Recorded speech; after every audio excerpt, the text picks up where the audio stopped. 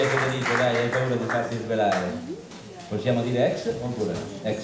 È un ex giornalista del Corriere della Sera, unico inviato nel periodo dei massacri in Ruanda, unico inviato italiano.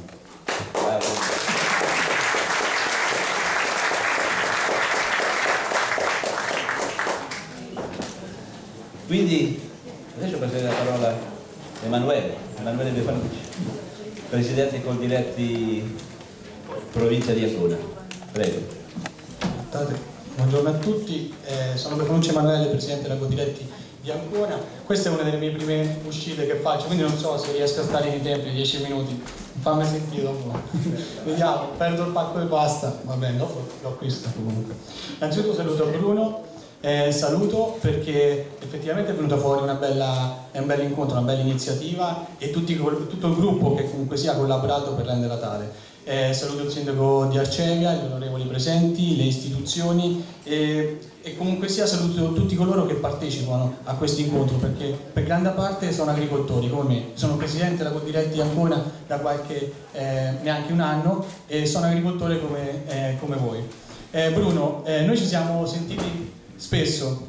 Eh, abbiamo parlato sempre di, ultimamente abbiamo parlato molto di OGM, abbiamo parlato di iniziative che le organizzazioni sindacali forse sono state un po' eh, dietro, cioè, però te sai che con Diretti c'è, con Diretti è in prima linea, con Diretti con OGM Free eh, combatte la, eh, la semina degli OGM e la cosa mi è dispiaciuta sul fatto che questi OGM sono stati seminati. Questi OGM sono stati seminati, c'è stata una propaganda eh, con effetti mediatici sulla coltivazione eh, di OGM e l'Italia non si è tutelata da, eh, da questa semina. Questa, questo maledetto eh, clausola di salvaguardia non ha salvato l'Italia, la semina è stata fatta. Noi pensavamo dall'incontro che ci abbiamo avuto il 4 luglio a livello nazionale del Palalottomatica incontrando eh, il Ministro del, dell'Agricoltura, il Ministro della Salute, il Ministro dell'Ambiente, pensavamo di convincerli. Effettivamente il 12 luglio è stato fatto questo decreto di salvaguardia, ma questo decreto di salvaguardia doveva entrare in vigore la sera stessa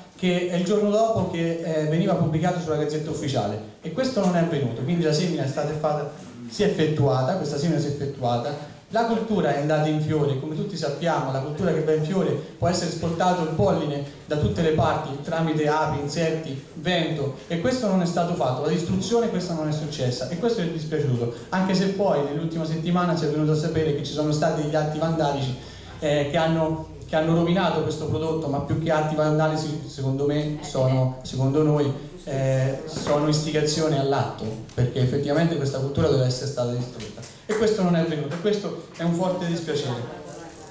Eh, la semina di questi OGM, eh, eh, la cultura seminata deve essere state distrutte, effettivamente portano questo seme a 3, 4, 5 km di distanza e infettano tutte le altre coltivazioni limitrofe, addirittura eh, distrugge anche le piante infestanti, cioè eh, riescono comunque sia a infettare le piante infestanti e questo è molto grave. Eh, noi vogliamo preservare il nostro territorio, sappiamo che il nostro territorio è caratteristico per quello che è. Le, I nostri agricoltori ci abitano in questo territorio, vivono in questo territorio e sanno quanta fatica fa per coltivare su questo territorio. La zona di Arceve è una zona eh, collinare, montuosa, sanno che un ettaro di cereale, un ettaro di lenticchia o un ettaro di, eh, di qualsiasi altro prodotto ci vuole molto di più per coltivarlo, è ancora più dura per queste zone coltivarlo, non è possibile che il nostro prodotto sia, se, se, pote, se, nella nostra Italia, se nella nostra Italia si potesse seminare l'OGM significa che il nostro prodotto qua è uguale al prodotto del nord, è uguale al prodotto del sud, ma è uguale in tutto il mondo. E se la lenticchia o qualsiasi altro prodotto che si viene qua, che potrebbe, eh, potrebbe essere un cereale, eh, lo si produce in un'altra parte, in grande scala, in grande quantità, è inutile che i nostri agricoltori eh, rimangano sul nostro territorio, quindi c'è uno spopolamento nostri, della, dalla nostra parte più interna eh, verso un abbandono dell'agricoltura, verso un abbandono del territorio. Sappiamo che noi viviamo con le temperature, con la meteorologia, se il nostro agricoltore non sta su quel territorio rischiamo che il nostro territorio venga distrutto. E, e, que, e questo Coldiretti non lo chiede, noi come organizzazione non lo chiediamo e siamo a favore della non semina degli OGM.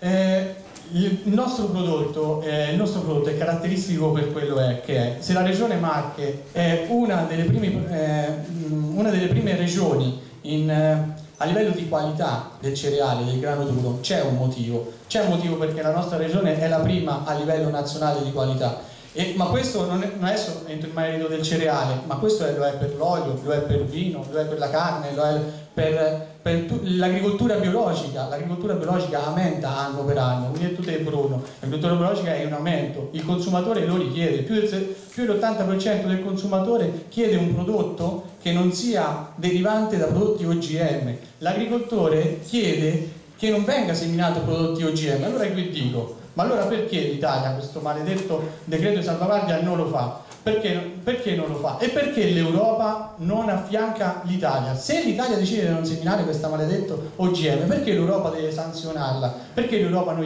non gli, può andare bene questa cosa? L'Europa è grande per il suo contesto, però è giusto che l'Italia, le regioni, gli enti locali decidano di fare quello che ritengono giusto per il proprio territorio e non dobbiamo essere sottostanti all'Europa, perché poi l'Europa deve essere un supervisore. Dobbiamo fare come ha fatto la Francia, come ha fatto la Germania, come ha fatto la Grecia, come ha fatto la Svizzera. Hanno fatto un decreto di salvaguardia contro eh, i prodotti tipici del loro territorio, ma poi noi non abbiamo meno di loro, noi abbiamo molto più di loro, possiamo, noi abbiamo un PIL molto più alto de, del loro. Quindi dico, l'Europa non può contrastare le nostre, eh, le nostre idee. L'OGM com'è? Che cos'è? L'ha spiegato prima Bruno. L'OGM è omologazione, prodotto uguale per tutti. L'OGM chiede poche aziende di grande dimensione. La struttura della nostra Italia non è la, la, struttura della nostra Italia non, non, è corretta, la nostra media azienda è un'azienda media piccola, intorno ai 10 ettari di terreno, la media aziendale, quindi non possiamo competere con altre nazioni, ma questo non, neanche lo vogliamo, questo neanche lo vogliamo è abbattimento dei costi manodopera, quindi significa portare via manodopera dai campi, significa che queste aziende meno manodopera, più lavori macchinari, più meccanizzazione, quindi abbattimento della manodopera. Con questa crisi che poi viviamo a livello nazionale, penso portare via persone dall'attività agricola significa portare ancora integrato la nazione come l'Italia. Eh, abbassamento dei prezzi, non è vero che l'omologazione, l'OGM porta all'alzamento dei prezzi, lo vediamo nelle varie eh, stati in via di, di, di, sviluppo, non è vero, aumenta la superficie ma aumenta la povertà, aumenta la povertà perché il prodotto ha un prezzo più basso e comunque sia porta alla fame, non è vero che aiuta il mondo intero. Eh, l'inquinamento genetico, non la lascio per ultimo, ma è quella più, più importante, è danno per la nostra salute, è danno per noi, è danno per le nostre famiglie, è il danno per il nostro futuro. Quindi col diretti, ma col diretti è l'agricoltore che lo chiede, l'agricoltore che chiede? Chiede che venga attivata immediatamente questa, eh, questa clausola di salvaguardia senza, eh, come, ha fatto, come ho detto prima, come ha fatto la Germania, la Francia e, e la Grecia e, e che l'Europa non contrasti le nostre idee e, nostre, e, la nostra decisione, perché tale deve rimanere, perché se facciamo così, se l'Europa governa sopra di noi, è inutile che l'agricoltore continui a lavorare, tanto sa che da un'altra parte del mondo... Ok, ci sono.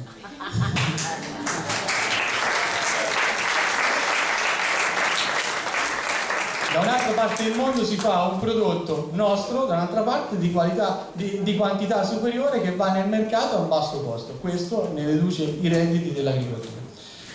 Eh, poi chiedo alla Regione Marche di continuare, di continuare il loro progetto sia del biologico sia nel, nella salvaguardia, nella salvaguardia del, delle non semine eh, degli OGM come hanno fatto e chiedo magari agli onorevoli qui presenti e comunque sia allo Stato italiano che a volte la, la salubrità del, del, prodotto, la qualità del prodotto eh, vada oltre all'economia. Grazie.